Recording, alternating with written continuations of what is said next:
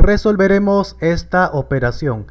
Como vemos que los números que están dentro no tienen raíz cuadrada exacta, primero nos preguntamos, ¿esos dos números se pueden dividir exacto entre dos?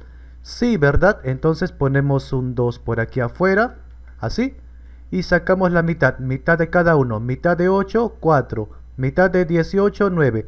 El 4 y el 9 sí tienen raíz cuadrada exacta, ¿verdad? Listo. Primero, el 2, como sacamos a los que estaban dentro de la raíz, va con raíz así. Y ahora dentro, ¿quién viene? Este 3, raíz cuadrada de 4, que es 2, ¿verdad? Acá con multiplicación. Baja menos, acá viene 2, raíz cuadrada de 9, 3, ¿verdad? Porque dos números iguales que multiplicados de 9, 3. Listo.